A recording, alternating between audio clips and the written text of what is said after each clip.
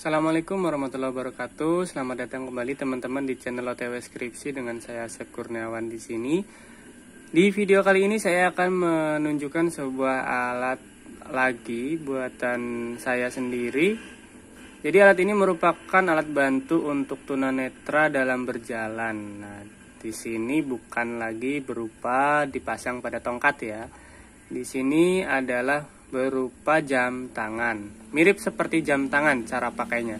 Di sini juga ada sepasang tali jam tangan yang seperti tali jam tangan pada umumnya. Nah, bedanya di sini adalah tidak ada penunjuk waktu atau jamnya ya, karena bukan jam.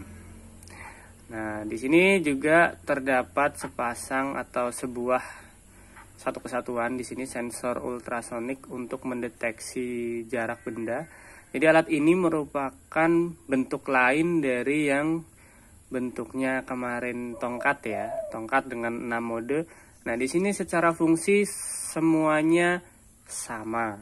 Ada dua putar-putaran di atas ini.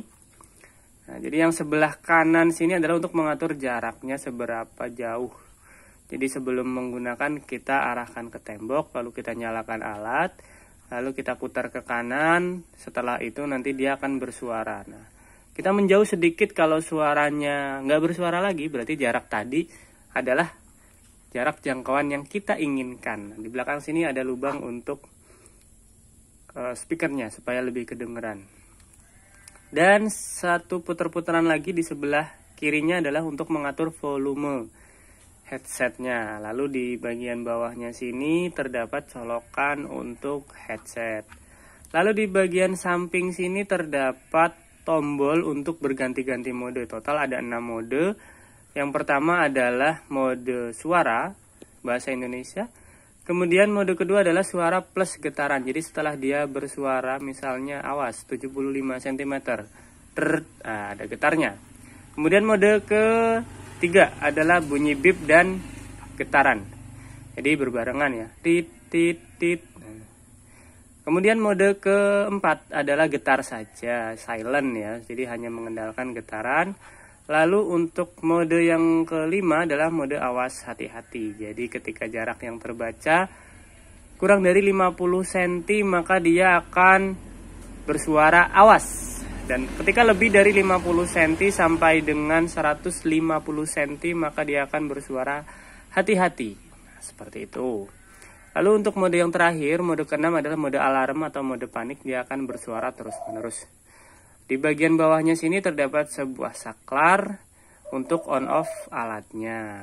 Oke, eh, kita coba eh, nyalakan tapi saya nggak pasang di tangan dulu ya.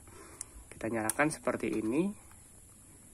Nah, ini posisi uh, zero ya, nol. Oh ya, tadi saya lupa menjelaskan di samping sini ada colokan untuk ngecasnya. Jadi dia sekarang sudah menggunakan port charger tipe C. Jadi tidak perlu khawatir teman-teman salah memasukkan colokannya, salah nyolokin. Jadi nggak perlu takut kebalik. Oke, ini tadi sudah saya nyalakan dan kita arahkan ke tembok dengan jarak segini misalnya ya. Kita putar ke kiri. Aduh ini agak-agak susah ya kalau pakai tangan satu. Kita putar ke kiri sedikit. Awas 30 cm oke wait kita putar awas, terus. 47 cm awas 46 cm awas 47 cm kita awas, coba mundur. cm. nah kalau kita majukan Berarti dia ketika 50 sudah mendeteksi. Nah, di bawah 55 dia akan bersuara. Jadi ketika ada benda dengan jarak kurang dari 55 cm ini tadi sesuai dengan pengaturan kita, maka dia akan mengeluarkan suara. Oke, jadi sekitar 55 ke bawah ya. Kita coba ganti mode, kita tekan tombol. Nah, setelah dia berbunyi, pastikan berbunyi satu kali bip, nanti dia akan berganti mode. Nah, ada getarannya. Kita coba ganti mode lagi. Oke, kita coba ganti lagi. Nah, dia nggak kedengeran, hanya getaran saja. Kita coba ganti lagi. Nah, Awas, awas. Hati-hati. nah ketika hati-hati dia lebih dari 50 cm. Ketika dia kurang dari 50 cm dia awas. Hati-hati. Hati-hati. Hati-hati. Awas, awas. Nah, berarti jaraknya sudah sangat dekat. Kita coba ganti mode. Nah, ini mode alarm ya, atau mode panik. Dan 39 cm. kalau kita ganti lagi mode men- menjadi mode yang pertama. Oke, jadi seperti ini eh, kira-kira alatnya. Cara pemasangannya nanti saya tunjukkan di akhir ya. Jadi kurang lebih sama seperti yang dipasang di tongkat, hanya bentuknya seperti jam tangan. Nah, bedanya lagi dengan yang di tongkat, kalau tongkat bisa mendeteksi genangan air, yang ini tentu saja tidak dipasangkan kabelnya ya, karena nanti ya akan tidak cocok kalau dipasang di tangan terus nanti ada kabel ke bawah mau diikat di mana gitu. Jadi minusnya adalah tidak adanya untuk sensor genangan air. Akan tetapi fungsi-fungsi dasar seperti pembaca jarak berapa sentimeter dan mode-mode yang bisa digonta-ganti itu sudah terpasang sama dengan yang di tongkat. Buat teman-teman yang tertarik untuk memiliki alat ini bisa menghubungi nomor yang ada di deskripsi video ini beserta dengan link-link yang sudah saya cantumkan untuk pembeliannya supaya lebih mudah. Teman-teman bisa beli lewat Shopee atau Tokopedia, nanti saya taruh linknya di deskripsi. Dan kalau mau dicatat nomornya silakan 085 720 247 206. Oke, sekarang saya coba peragakan pemasangan di eh, tangan ya. Ini karena tangannya saya kecil jadi agak-agak kelihatan gede. Padahal ini kecil, hanya 5 cm dan panjangnya kurang lebih 7 cm ya boxnya. Saya pause dulu.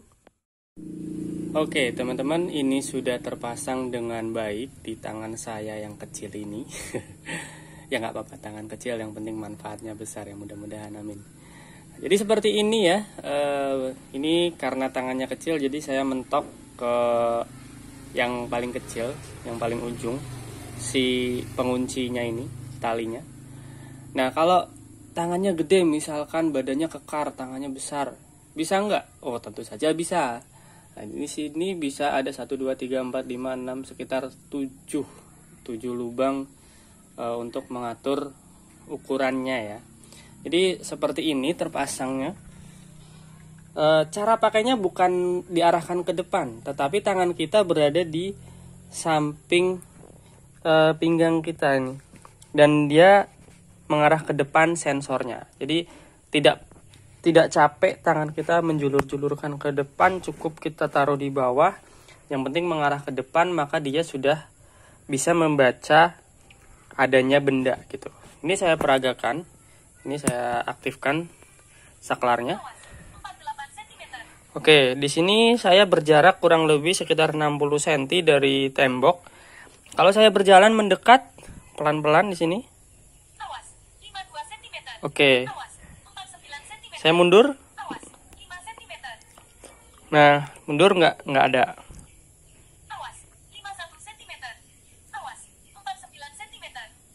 Oke, jadi bisa ya kita peragakan kita misalkan eh, kita jalan, misalnya kita udah depannya tembok nih, ternyata tembok. Oh 50 cm. Oh 32, oh semakin dekat. Jadi kurang lebih seperti itu cara pemakaiannya. Kita matikan dulu. Nah, kurang lebih seperti ini teman-teman ya. E, cara pemakaiannya cukup mudah, akan tetapi untuk pemakaian pertama mungkin butuh sedikit penyesuaian karena ya namanya baru pertama kali tentu saja butuh adaptasi. Jadi begitu teman-teman buat yang tertarik mungkin mahasiswa mau buat alat ini bisa nggak? Bisa. Nanti saya ajari sampai benar-benar paham. Saya kasih codingnya, saya buatkan video tutorialnya dan jasanya ya. Tentu saja ada yang seperti itu. Silakan bisa menghubungi nomor yang ada di deskripsi video ini. Terima kasih sudah menonton.